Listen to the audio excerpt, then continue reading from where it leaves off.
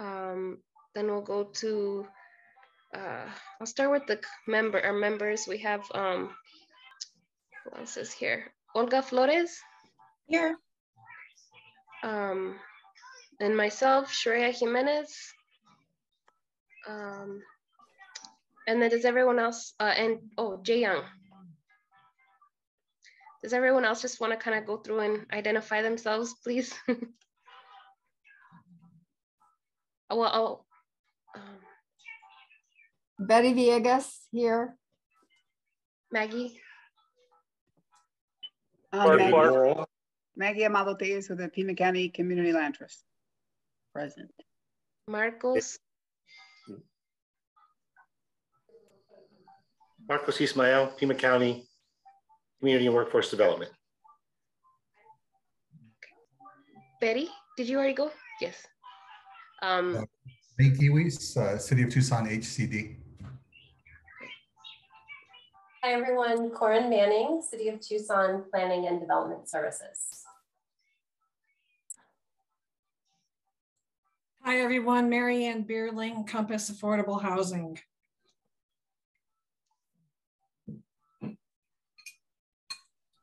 David Wall, Newport. Megan Headings, Family Housing Resources. Joe Audino, Historic Fourth Avenue Coalition, Barrio Neighborhood Coalition. and then I see uh, Charlie Buchanan. Hi, everyone. Charlie Buchanan with Habitat for Humanity Tucson. Thank you. I see a WMSC's iPhone.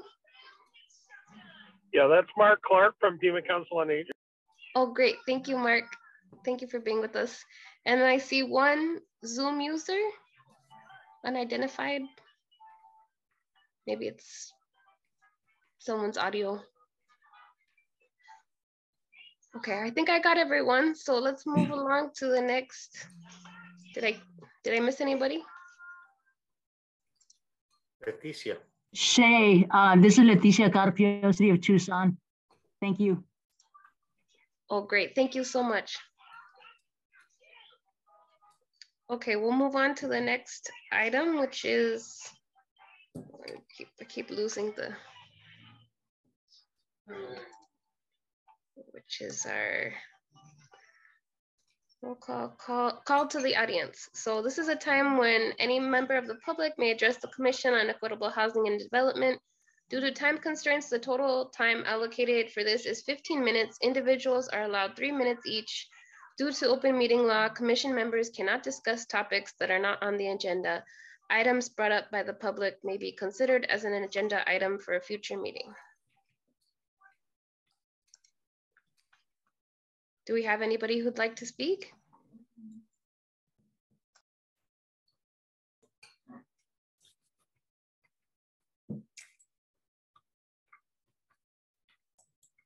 Okay, hearing none, um, we'll move on to the next agenda item. Okay, so this is the big one. uh, we have this source of income protection item that we began to discuss in pretty great detail at our last um, uh, commission meeting. So um, I'll leave the floor open if anyone would like to take take the lead on this.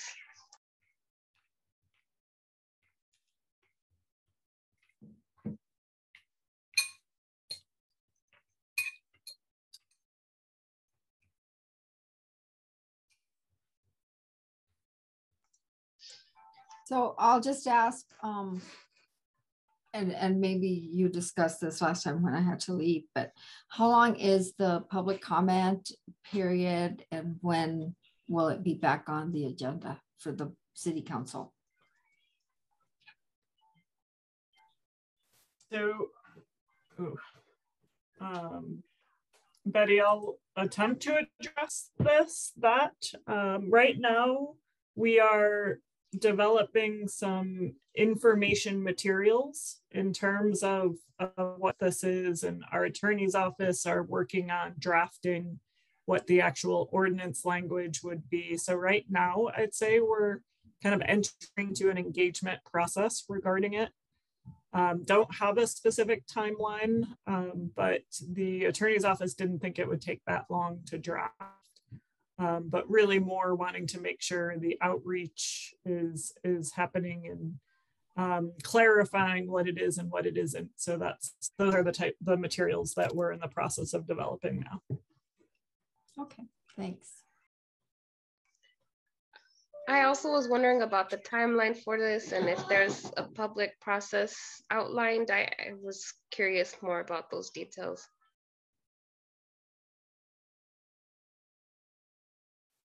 Yeah, so that's where we're in process of meeting. We've had a few organizations reach out to us. And so we're in process of, of meeting with them and open to your all suggestions in terms of what you'd like to see in terms of engagement, um, but still really thinking through this and feel like in terms of agendizing this on this committee, would love to hear what people think in terms of what they'd like to see. Um, has the Tucson Association of Realtors been uh, stepped up or? Um, we've had a preliminary conversation with them. We were going to meet with them again yesterday, but that ended up getting postponed. And I believe it's going to be rescheduled to February 1st.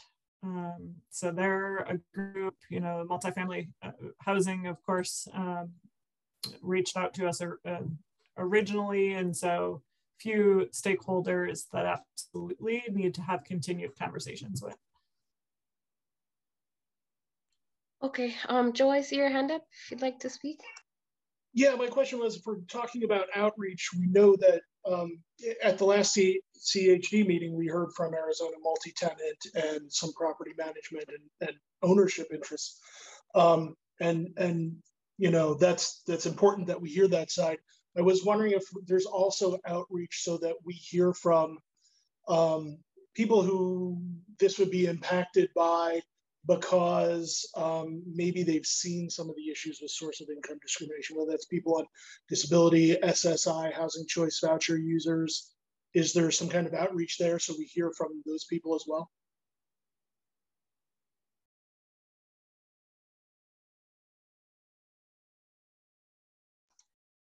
Yeah, I'm a bit unclear myself. And so who is taking the lead on this in the department? Is it HCD? Is it PDSD? Who's is there some one person that's been sort of assigned? You know, H HCD working in collaboration with the attorney's office. Um, and so, and I'll say Liz, who presented at the last meeting, is is more the lead here, um, given all of her Section 8 experience. So full disclosure, this is not my my area, but um, absolutely learning quickly in terms of what what a source of income ordinance would or wouldn't accomplish. And so, um, but yeah, open and Joe, you're absolutely right. That was the last meeting. My thought too was um, really making sure that there's more intentional outreach to all sorts of folks, you know, whether they'd be supportive or not, and just making sure we're reaching broad audiences. And then I had another question. I was curious about the I, I didn't see the mayor and council session. Who, which politically, which was this a motion? Who who made the motion? Um, I can bring it up. So the um, council member Kozachik is the one that agendized it, and I think he made the motion off the top of my head, but I'll look that up while you all are talking. Um, and ooh, Jay, Jay looks like he might know that answer. Oh, no, I, I don't. I was just going to make a comment. So I don't know the answer to that. Um, so Councilmember Kozachik made initiated the item with and the mayor has also expressed a lot of support in terms of making this happen sooner than later.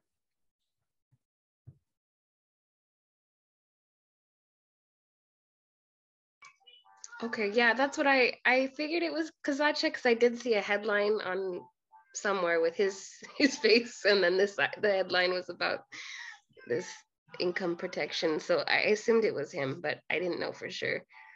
Um, jay did you want to you had a question? Um, well i was just going to make a, a, a, comment. I don't know that i really have a question and you know I, one of the things that really concerned me and I, I think we're addressing that here but um, you know, one, the fact that there's not actual language in the ordinance yet, I think was problematic for the meeting last time because I felt like a lot of what I heard uh, people saying in, in opposition to a source of income protection ordinance just was not accurate at all. So, you know, I just want to make sure that, um, you know, we're getting out ahead of this. And, and Joe, I think you make a great point uh, as well. I mean, we really need to hear from folks who, you know, have Section 8 vouchers or who, who have gotten vouchers and have just really struggled to be able to use them because places literally won't even give them an opportunity uh, to apply because they have a voucher. So, you know, I really want to make sure that we get uh, all sides of this. And, um, you know, one of my concerns, obviously, you know, that the, the housing industry, uh, if you want to call it that, I mean, obviously, uh, have a lot to say about this, but you know, when it comes to solving a lot of the issues that I think that we see in terms of affordable housing and housing in general, uh, I don't see a lot of solutions coming from from the industry. Um, you know, the the kind of point is that if we do anything that's pro tenant or you know uh, adding any protections that you know the sky is going to fall, nobody's ever going to build affordable housing in Tucson again, and I, I just find that to be really problematic. So I hope that we you know, as a commission going forward can get on the same page about, um, you know, what this really means for our community. And, you know, remember that I think really what we're supposed to be doing is breaking down barriers to affordable housing and clearly, um, you know, keeping people out of housing because of their source of income is a barrier, you know, regardless of whether or not this is going to solve all the problems or, you know, some of the other things that that are still out there are going to be out there. But anyway, I just hope that we as a commission can uh, move that ball forward because I do think it's it's important. Um, I I just want to. Can I? I was trying to find the hand, but I I don't know where to find it.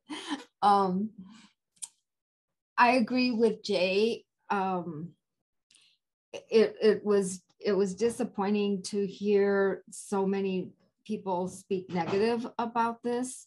Um, I think it's important to make clear that it's it's not just any income because you don't want drug money income you know i think i think what you need to show is verifiable income and that's important. So it, it's it you have to put that in the language um for one.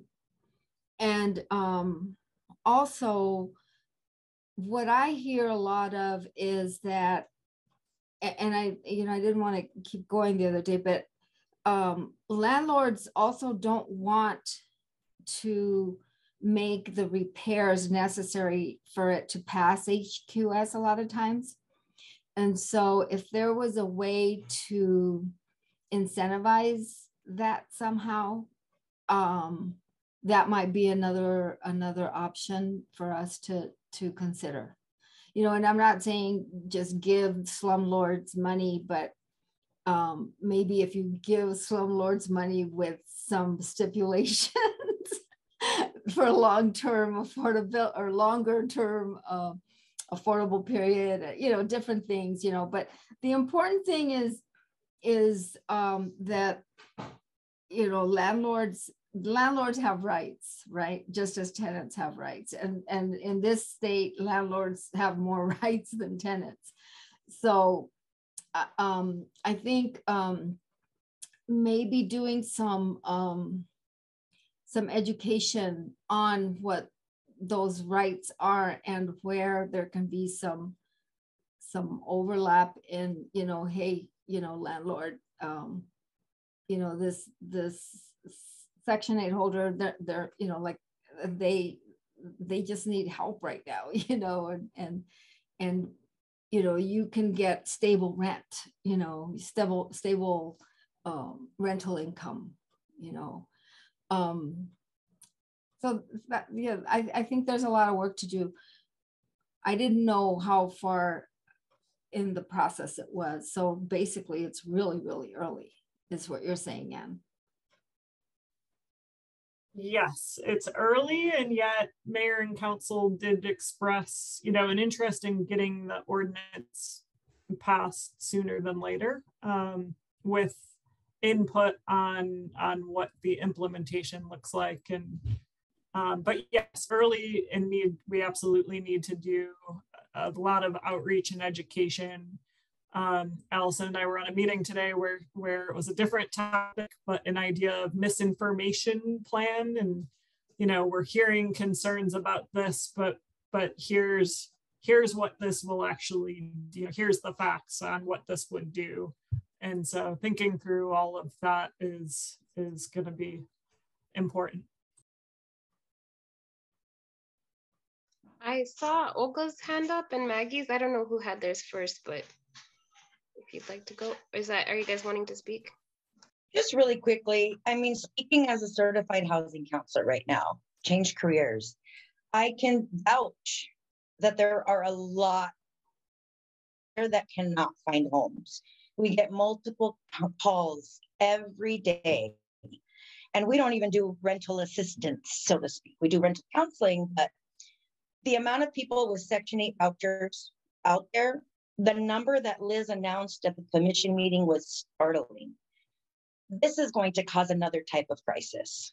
Um, and something needs to be done. When I didn't say anything, I was probably the only commissioner that didn't say anything because I needed to calm down. It was the fact that they're not looking at the the rents raised for other reasons.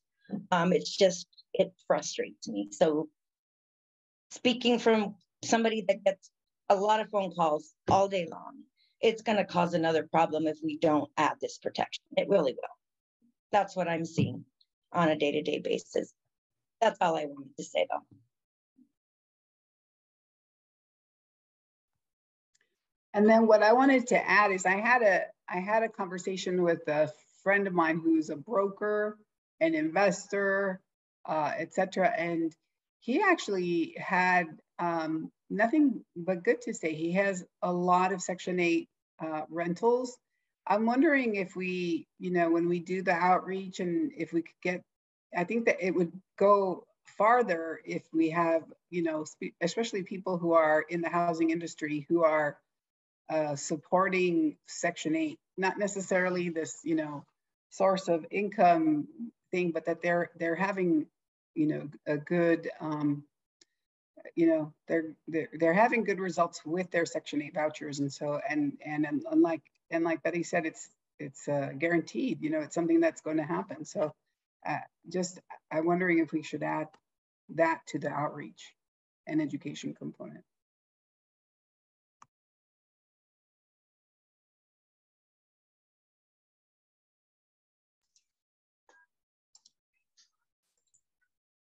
And maybe that's where our um, role is in this, is to come up in helping the city with an outreach plan on education. You know, we've got Jay here who, you know, obviously is, is very well versed on fair housing and what, and uh, if we could get, I don't know, Jay, I'm sure you know a lot, a lot of the landlord tenant laws as well, but um, maybe somebody from uh, from that realm, you know, could could join us in in coming up with with an outreach plan on um, to to educate the the property managers um, as well as the public. You know,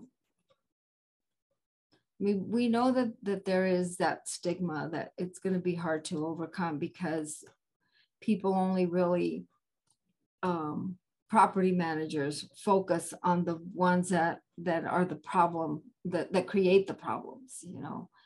And so that's where a lot of the the emphasis is and that's where the uh, uh, the automatic thought process goes to all the ones that cause the problems. Um but really i don't i think the percentage maybe we need to look at percentages you know and and get some data on on that you know to show that uh, it's people like like you and me that need help sometimes you know?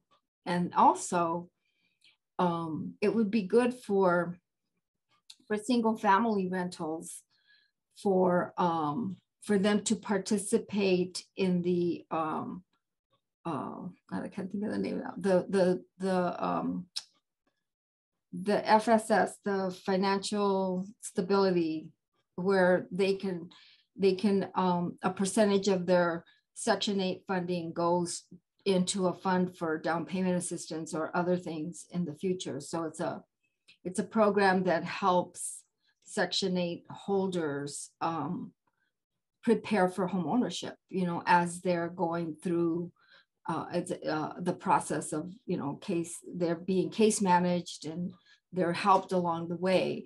And I know that um, the city has that program um, and they have people in that program. I know people that have graduated from that program and have houses, you know, so it's not all about, you know, um, long-term um, Section 8 holders, you know, although there are quite a few of them that you know, are on fixed incomes and can't go, can't do anything else. But there's also those that that want to get out of, you know, rental and go into home ownership. So think about that as well. Thank you, Betty. I, am sorry, I, I see a remaining time up here. Is anyone? Okay. Is I'm, that...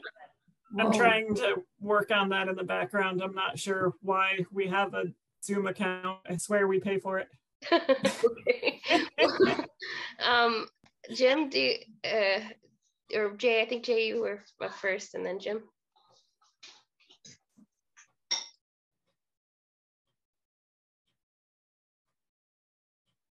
Doesn't look like Jay, your hand was probably still yeah, You're on mute. Oh, sorry, I was muted. Um, what I, I, so I have a question basically, and then uh, another comment that that Betty sparked for me. But um, I guess I'm actually just wanting to know, and there's been, you know, I've been talking to folks kind of outside of Tucson as well. Um, what did actually pass? Because, you know, the newspaper said there was an ordinance that was passed, and then it's like there wasn't an ordinance. It's so like what has actually happened? And then what actually would need to happen for a source of income protection ordinance to go into place? I think that the mechanics of it are, are confusing to me. And then I have a comment after that as well.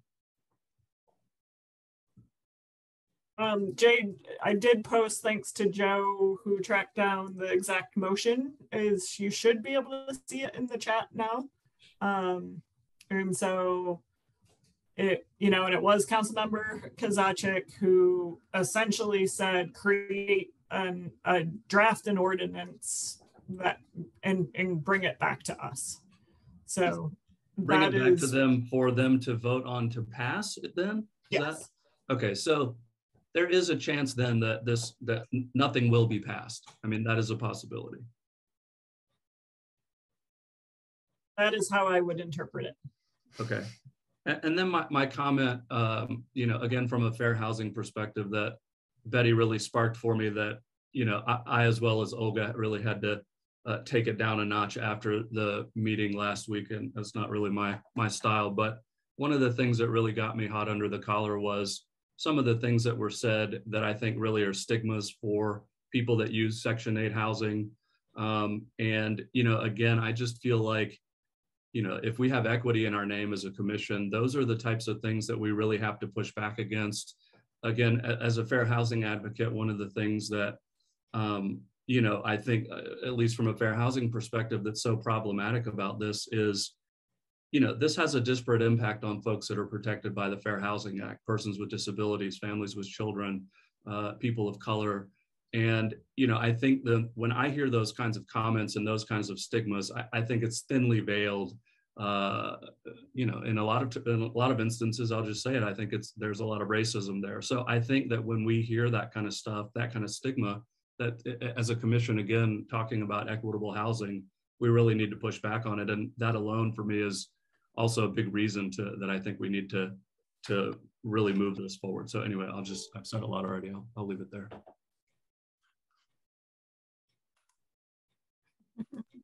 Thank you. Thank you, Jay. Um, Jim, did you have some thoughts? Sure. So, you know, I I don't really have a pony in this fight outside of being part of this commission. Um, this I learned about this issue for the first time uh, the meeting before last, and uh, I did a little bit of uh, research over the last month. Uh, most of us were in the last commission meeting and, and heard all of the people speaking up um, against uh, this type of, uh, um, I don't know, what, what is this called? Is it a, a legislation? Um, and I, I think we have to be careful here. Um, for, for a number of reasons. First of all, um, this is going to be hotly contested. Um, and so it's most likely going to take a while to complete. And I think my my biggest concern, you know, outside of the potential uh, unintended consequences, which we don't really understand what exactly what those are at this point. Um, but my biggest concern is I'm not sure it's going to solve the problem. There's there is a problem where people who have Section 8 vouchers can't get housing, and this this uh, legislation is, you know, is it going to do something? Maybe, but if somebody doesn't want to have a Section 8 person in their in their unit, there's going to be 15 other ways they can get out of it. So, you know, the, the question becomes if this doesn't work, what's next? And, and is there things that can be done to help solve this problem that don't require, uh, you know, additional ordinance from mayor and council? Um, you know, I think some of the improvements that the housing department is trying to make, where they pay people more quickly, um, and don't necessarily wait for inspections and understand the turnover cycle and all those things. I think those are going to probably have a much bigger impact than than this ordinance. Um, and so I think I think we need to be smart about it. Yeah. Sorry to jump in here, but we're we've been trying to pay to extend time on our end because we're clearly having a Zoom issue and we have not been able to figure out and there's three minutes. So we I can do one of two things. Sorry, I hope you keep your thought going, uh, Tim. One, I can we can actually go to the Teams link that was originally in the meeting invite. Sorry, again, this is a pain. Um, so there's that, or we can send a new new Zoom link out. Shay as chair, maybe just make that call. Let's just use the Teams link. Okay. Most of us Sorry, y'all. Does anybody not have that? I'm not sure where to. I don't find- have it. I can, s- I'll send a, a- another calendar, um, I'll send an email with that, but it's in the original calendar invite that you have. Accidentally, there was a Teams link and a Zoom link. Oh, Um, okay. So it's- Yeah, it and- should be. and- And And I'll you send, can, you can use your own browser. You don't need the app, right? exactly. Yeah. Um, I'll Just if- send that. Apologies, my fault. Who else said they didn't have it? I think Joe Olga and Olga. I'm not Dave? sure. I'm looking at the calendar invite and I, I see, I don't see a Teams, but, I found mine well, if you could send Scroll it out. down, Mark, scroll down. all the way down. It's Yeah, underneath down at the bottom. the very last. Oh, good. Not on my iPad, it's not. Hmm. Joe, what's your email? Uh, Joe at thejoe.org. Ann and Allison should have it already. No, I don't think I I just, do. I just put the Teams link in the chat. All right, I'm- gonna exit everyone. Thank you.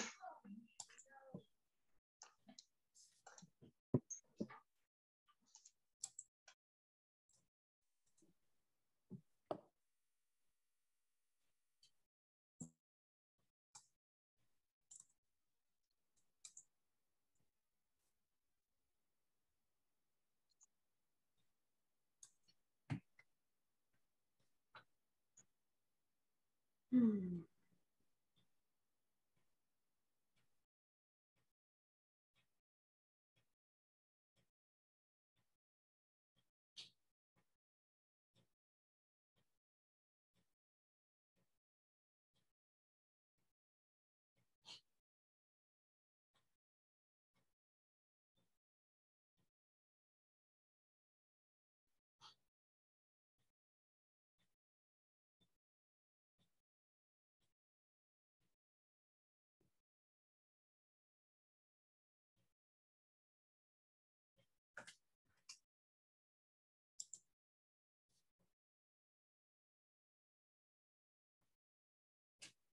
Actually open meeting law.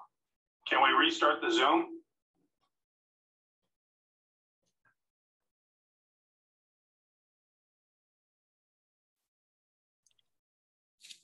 That countdown timer, it's so much pressure, you know? It's like, I, I hate interrupting people too. And Jim, you were like in a real, real groove there.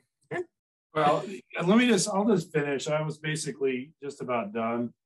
Know, the bottom, bottom line is it's pretty obvious.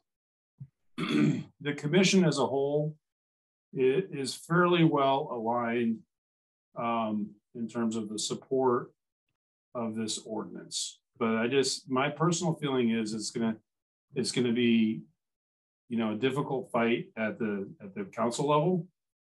And I'm not sure it's gonna solve the problem. And I think that, that, you know, if there was other things that this, this uh, group can do to, you know, find other, more maybe other creative ways to address this, uh, you know, that might that might be better use of our time. At some point, the ordinance will be written, and I'm sure that um, that we're going to be asked to provide a letter in support of it. And I'm, I'm, you know, just based on the group that we have, that's most likely going to pass, and we're going to send a letter in support of it. But it, again, if it doesn't really solve the problem, um, you know, what are things that that we can do that will have a, a a real impact that that don't require an ordinance to be passed by the mayor and council. That's it.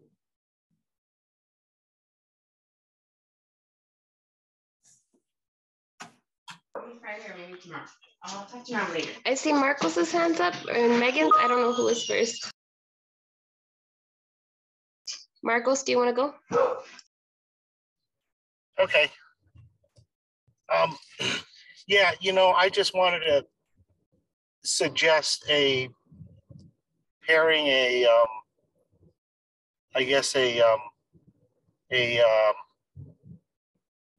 a beefed up or boosted landlord incentive program along with this ordinance, um, which I think would address the housing supply issue, or at least provide some you know some some real ways to to increase the number of rental units. And i found two studies on the hud website that um, looked at two housing authorities that did a good job. I know the city's already started working uh, you know with, with incentives.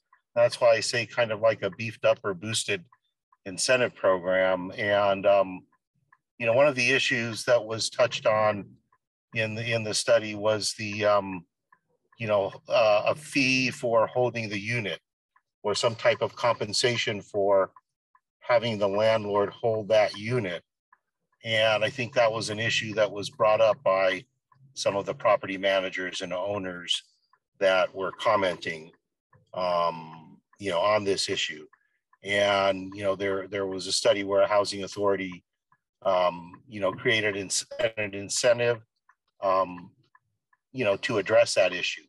Um, you know, some compensation for reserving the unit.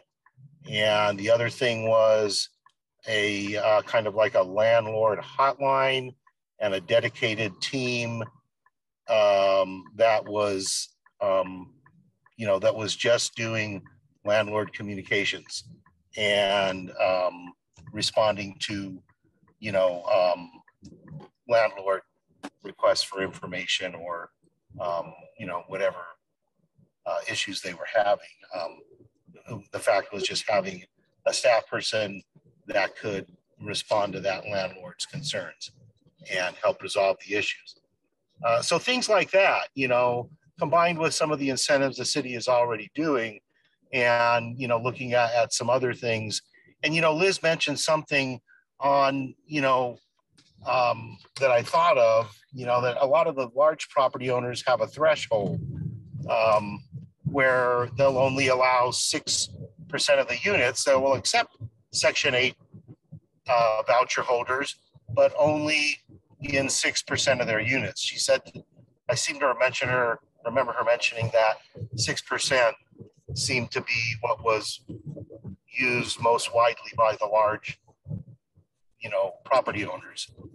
And, you know, if we could work with those types of properties to get them to start increasing that and, you know, find some incentives that would help landlords make more uh, landlords that are already accepting units that, that a way to get them to maybe free up some more units uh, for section eight, increase their threshold from 6% to 10% or maybe even 20.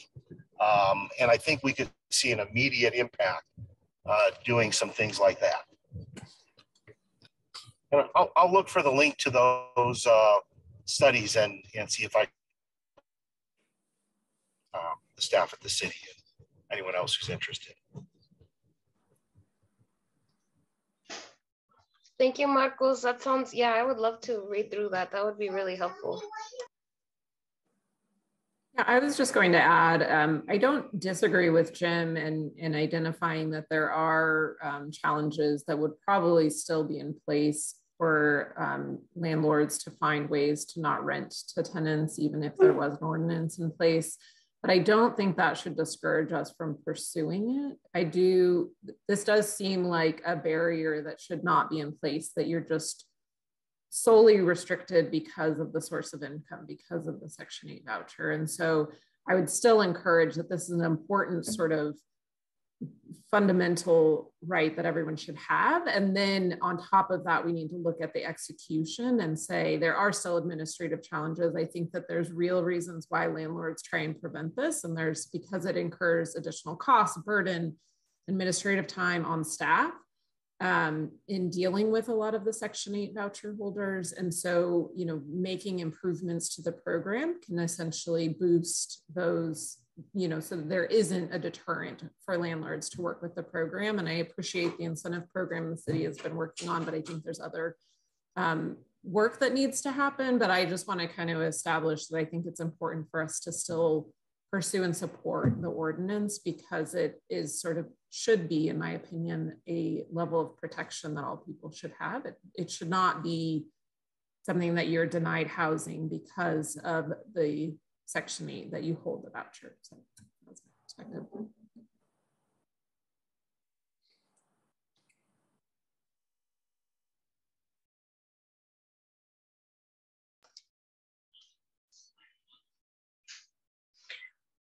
Um, thank you, everyone. Um, I think we've spent quite a bit of time on this, so we should probably move on unless there's any other comments. I um, I think we're at the beginning stages and there's still a lot. I think this will keep coming up, probably recurring. So we can, it can just be an item that we, you know, are tracking. And I, I agree, though, I think a letter of support would be helpful. And in any ways we can help with outreach and engagement or, you know, I think HCD has started getting like really nice little videos of people who, uh, you know, want to speak out in in favor, you know, maybe we can refer people, um, be of help that way.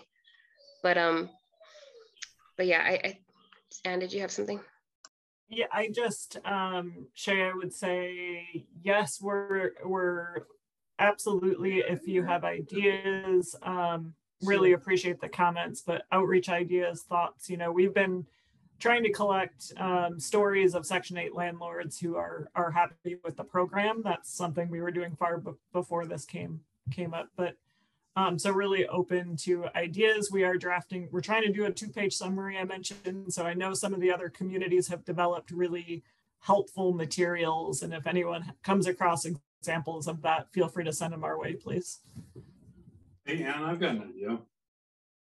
What, what would you think about having a uh, you know, maybe a working group with uh, some of the major either property management companies, both who who do accept Section 8 and those who don't.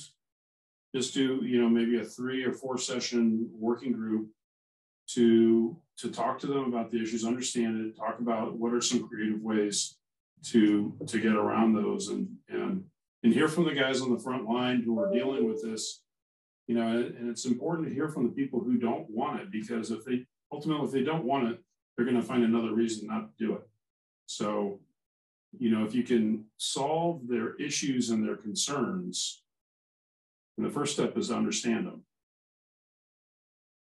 You know, that, at least. Yeah, know, I'm happy to talk to Liz. I do think a working group could be helpful. I think it would have to be balanced with people who um, absolutely on the landlord side understand those, but also on the on the tenant side and on the um, Section 8 voucher side. So I think a balanced working group that can work through how to best execute whatever gets passed and, and inform what gets passed. Um, something I'll talk to Liz about, but good, good idea, Jen. I'm curious, and on the tenant side, has the Tucson Tenants Association Union been contacted?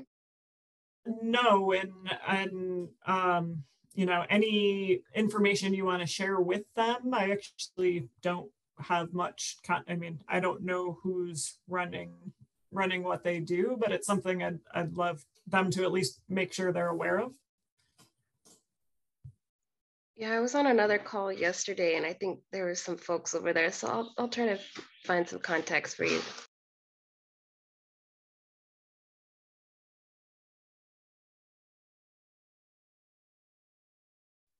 Thank you. Okay, thank you, everyone. Um, we'll move on to the next item unless there's anything else pressing or burning.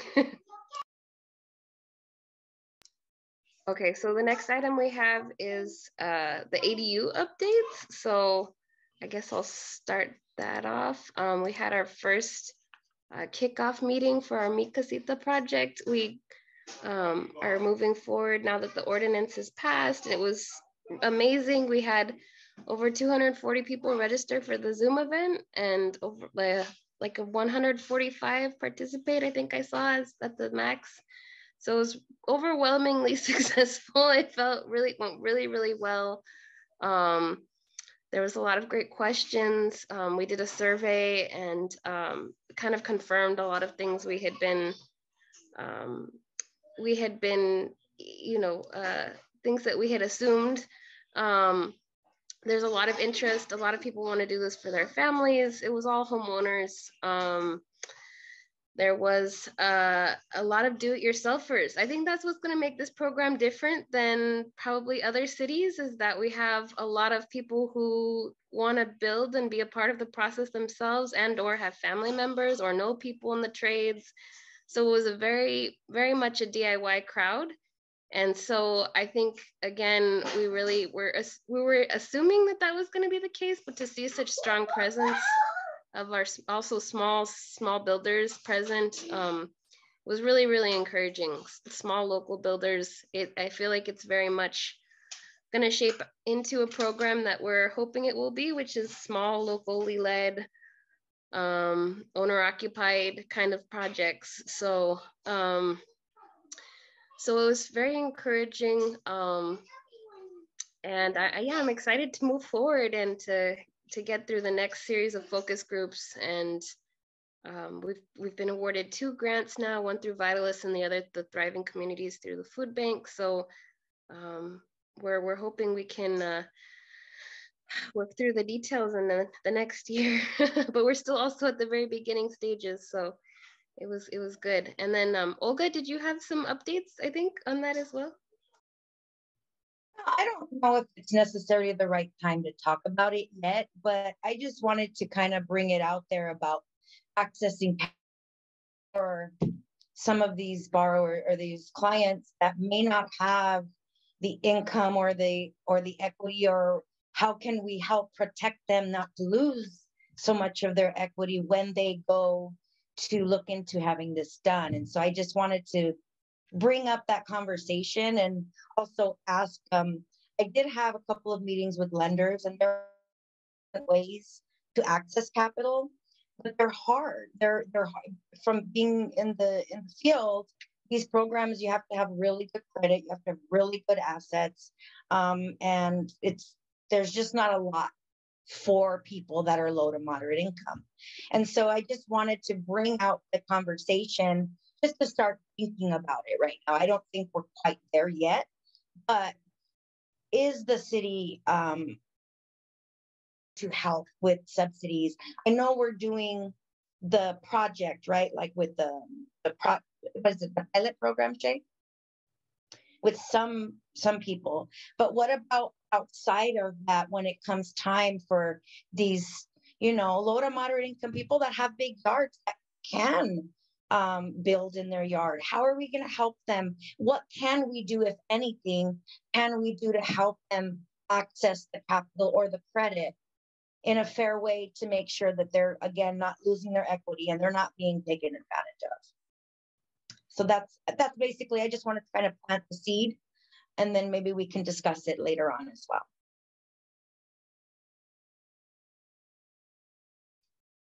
Yeah, I think we're really early on in the process, and I think we'll definitely vet through those things as we get further along. But yeah, I I think that's why the again the program that I saw that was the coolest that addressed that nationally was in Denver, where they paired the community land trust model with the casita, so that basically nice. when you did the refi, or they had this mortgage product that when you it was especially designed for people who were on the verge of foreclosure, but it could work with anyone who was kind of in the position where we keep saying like they had a lot of equity, but they didn't necessarily have a lot of cash, or maybe wouldn't income qualify necessarily for those higher, you know, loan amounts. So in those cases, they were folding the deals into the land trust. So once the land is taken out of the deal, in a lot of cases, they were able to refinance for about the same mortgage payment or only slightly higher and pull, basically enabled them to pull out all the equity in the house, fold the deal into a land trust model. And then, but again, the caveat then being that now you're part of a land trust, you know? And so Right. it was really interesting.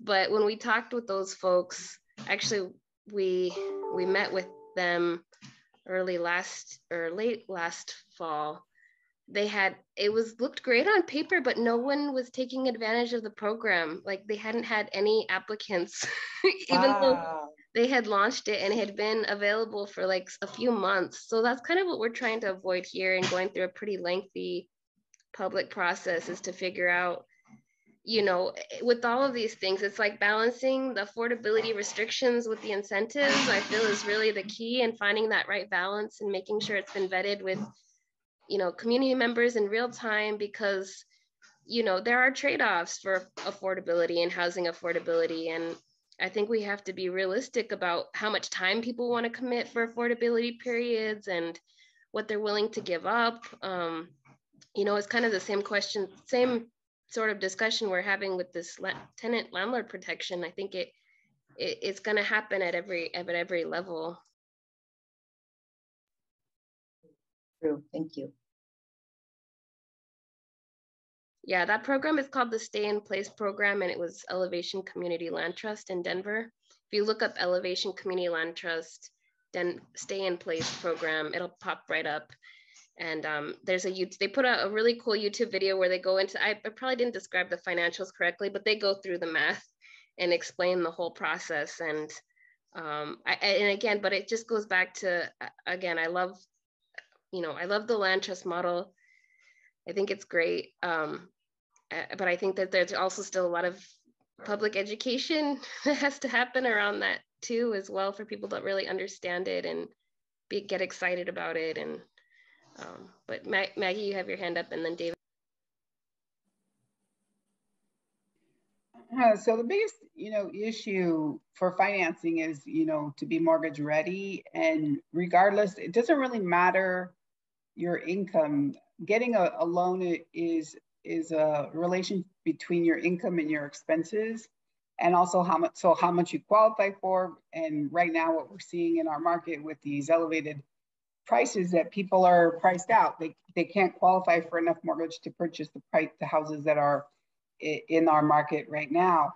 And but it'll be a similar issue with our existing homeowners who maybe are house rich, cash poor. If they want to get financing, they will have to have some kind of documentable income to guarantee to a lender that they can repay the mortgage. So I think a lot of that has to do with you know education and and getting people mortgage ready. So housing counseling is a huge component of this, getting people to understand that relationship between their income and their debt, um, their credit, etc.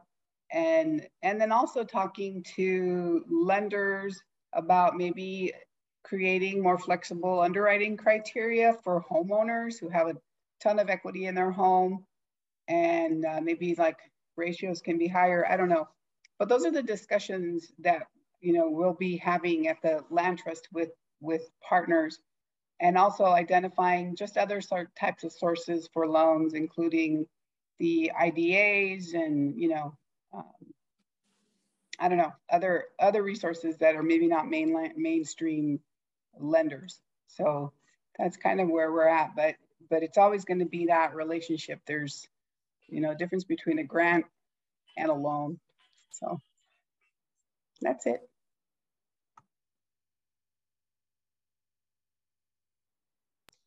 David. A Couple of points um, and addressing Maggie's. Mean, a thousand years ago, before I moved to Tucson, I ran a um, lending consortium among a bunch of banks that uh, did multifamily financing. Uh, it's theoretically possible to work with local banks through an existing entity like perhaps the IDA, either of the IDAs, or Community Investment Corp, or maybe whatever the nonprofit loan fund is now called. Um, to the whole point being that if a number of lending institutions are involved are invested in every loan, then the uh, risk of loss on any loan is mitigated. It won't fall on one lender. It'll fall on the entire pool, and so it's a it's a fairly small hit. The when we were setting it up in uh, the late '80s, um, the pitch was it's like buying a mutual fund versus buying an individual stock.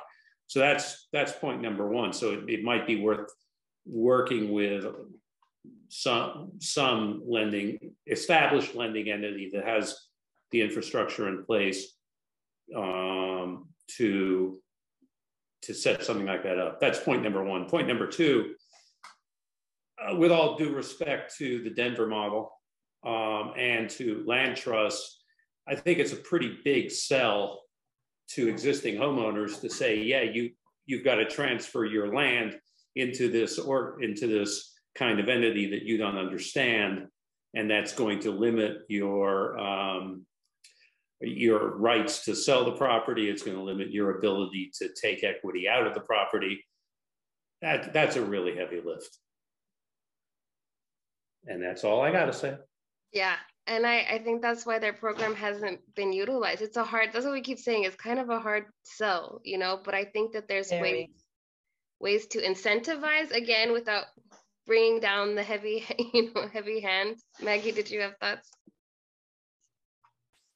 Yeah, actually, it's that what amazes me about the SIP program is that it doesn't seem to be, it's a win-win-win-win. So the way that the program works is that, you know, you have a a, a couple who, you know, maybe they're living in their house and they're like having some financial issues. They're actually selling their home at market value to the land trust. And then they're purchasing it back under a community land trust. So they're selling it like a fee simple, and then they're buying it back as a leasehold, which is automatically less money. So that leaves them with some money, right? And that's the, but obviously it requires on the on the part of the land trust a lot of money, subsidies, a lot of subsidies there. So because you're going to be paying more than what you're going to be getting back, and uh, thirty dollars a month for a land trust fee isn't going to cut isn't going to make up the difference. But what it will do, it will create another unit of permanently affordable housing in our community, and so it is actually a you know I think it's a really cool model, and I'm not sure, and, and they seem to have the financing to be able to do this. Um, but uh, so I'm not sure why it's not working. I think uh, permanent affordability, you're, you're in trouble, you wanna stay in your house, you sell it for market rate, you buy it back for less, and you've got some money left over maybe to pay off your bills. I mean, that's kind of how that video worked.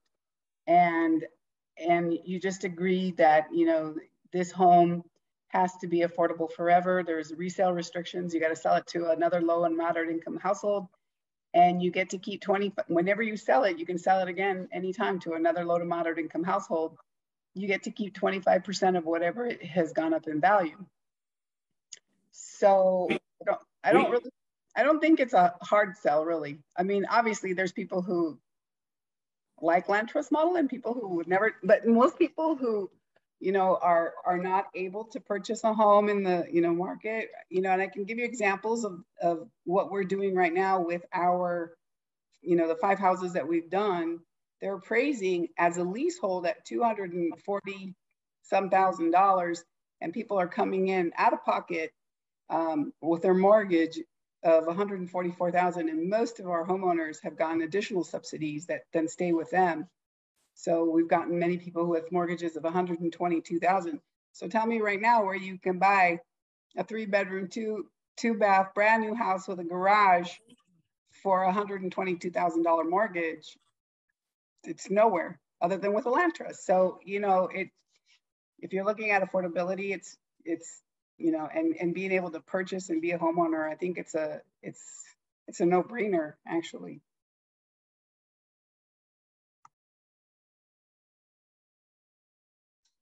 Thank you, Meg. Yes, I love the land trust model. I think it's great. um, uh, was there any other comments?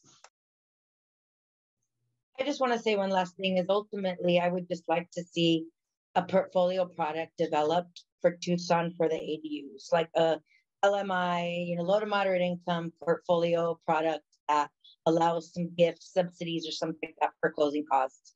I don't think it's too hard to come by, but yeah, I, I mean, I think a lot of other communities are starting to, you know, figure it out. I, th- I think we will as well. um, okay, so uh, if we're done with this topic, we'll move on to the next, which um, which is oh, strategic plan goals. Um, I, and I, I don't have my uh, strategic plan, our last strategic plan up. Should I should we table that for for another so, um, that's up to you. I think I think the just thinking through what this subcommittee, uh, uh, my sense from you was kind of thinking through what our next major things. Um, looks like we're hitting this 10 minutes, so maybe it's a good tabling for next time. and we we realized what the problem was and we'll fix it we changed some zoom accounts people and users and in the process we we discovered this now which i'm glad it happened now and not at the full commission meeting um so logistically how should we handle this should we are we gonna have to get off this meeting and then re-enter the same zoom call or I mean, I would say this that our meetings usually go until 5:30. So I would say let's let's just try to wrap up and apologies. Okay, we'll fix this for next time. My great. bad all around. Okay. I, I hope we're not I hope we're not skipping six B and C is all I will say. And I'm happy to to jump in, Shay, if that's okay, and just yes, provide. Let's, let's skip uh, item five for now and move on to item six. Great. Um, so a couple things um, in terms of yay, mayor and council passed the HAST plan. So that is official. And now we're moving into implementation. Um, a few of you have probably heard me say, really excited that 2022 is going to be about implementation and execution. Um, so a couple updates on things we're working on, and it's a lot and, and open I really want to use this subcommittee as as kind of helping us prioritize because we can't do everything tomorrow. Um, but so some of the things that we are working on that were included in the HAST plan, um, hiring a development manager to help us move these initiatives forward. I think that what's clear is we have a lot going on and trying to juggle a lot. So that's in process. Um, A, the uh, project-based voucher and um, funding application, we are looking to get it out sooner than later for in time for people to be notified in time for the April 1st state deadline. So we're looking at that first week in, in February to get it out. Um, and so Leticia is on this call. This is something that we're working with her team on. Um, one of the only things I'll say there, there's been a question. We've brought it to this commission um, and to the housing segregation subcommittee about having there be a um, um, a checklist where you can put in your address and making sure that we're prioritizing projects and areas of opportunity. So we're committed to a beta version this year. We'll, we'll ask applicants to go through the process of testing it but we don't intend to use it for scoring because we know there's still more outreach and engagement that needs to be done on refining the tool. But we want to use this year's application process as a way to help us get it better for next year once it's gone through those processes. And I see David, did, did you have a specific question? I have a very specific question. If you are not getting it out until the first week in February, what's your turnaround? Because um, we're going to need, we in the development side are going to need to know uh, whether or not we have PBV or home um, so that we can then get financing commitments from our lenders and equity investors. And yes, PBV, great. No PBV, not so great. Uh, if you aren't putting out the application or the RFP even until the first week in February, that doesn't leave a lot of wiggle room so, uh, what's your turnaround time? So we, I agree that um, this year's timeline is not optimal. We're really looking and, and so people know for next year, we plan on doing this process in the fall so that we're not up against the, the timeline. At this point. and Leticia, feel free to jump in. So the, um, team that's working on it is looking at giving team giving developers about a three week turnaround to submit applications. And then from there we're looking at, at giving us ourselves about a two week turnaround so that the latest people would be notified would be the middle of march. Um, you can expect no tucson LIHTC approvals this year then? Okay um, so david what in your mind would be the the kind of timeline that you would need to know about P PBVs to be able to submit this year? Very beginning of March. That's helpful. To, to, to work with lenders, to work with equity investors. Okay. And also, also for market studies. I mean, the market study uh, is going to be very, very different um, if the if if X number of units have PBV, uh, the market analysis is going to look very different than if zero percent of the units have PBV. So since since it's an essential since those are points that you're basically going to need um, to qualify to to score. Um, if if we don't know that we have PBV and can get it into our applications, goodbye LIHTC. Okay, um, I appreciate that feedback. I'm, I'm working on what we think is feasible. So, and I will keep folks updated. We have our list of developers that I email things out to every now and then when something's urgent. So I will be sure to keep keep people updated on that. Um, so the other thing we are working on um, is we've met with attorneys, um, PDSD attorney, our attorney on an impact fee waiver expansion. And that is something that um, starting to push through. Again, timeline on that is, is a little bit challenging because it does involve a lot of other, other departments and but people feel like it's feasible, something that we'll want to get engagement on.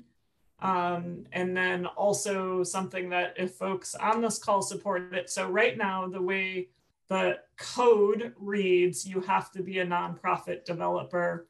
You have, and then the way our policy is, um, it is you have to agree to residents that are under 80% of area median income and you have to agree to 15 years.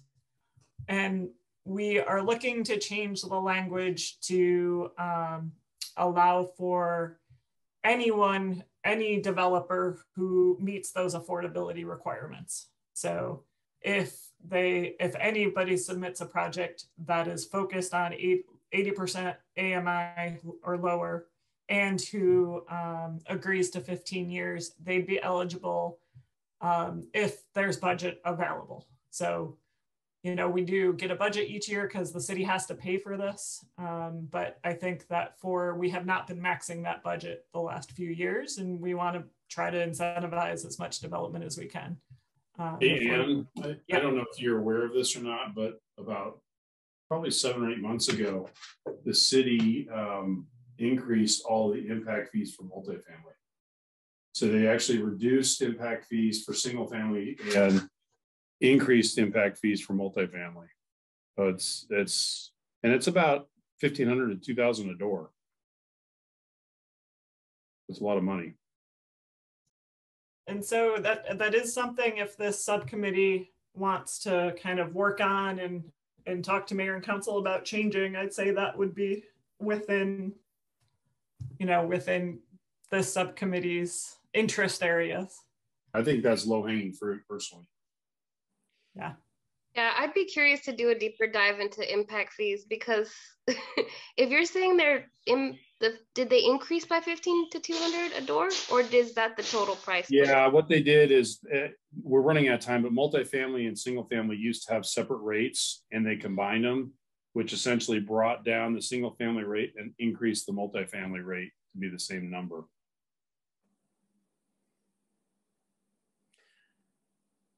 Would be a good, just... it would be a good education for, for um, so whoever's we, in charge of impact fees to come and talk to us about how they work. We can do that. Running out of time, yeah. David, you had one thing? Just the, let me point out, ADOH has clear, has definitely said that impact fee waivers do count for the five points for other local funding. Mm -hmm. So again, if if if this can be implemented by April 1, then that's going to give every Tucson developer who qualifies five points that makes their LIHTC applications more competitive. Okay. Sorry again for technical difficulties. All right, can we go ahead and adjourn the meeting? We've got all those in favor. all right, we'll see you all next time. Thank you.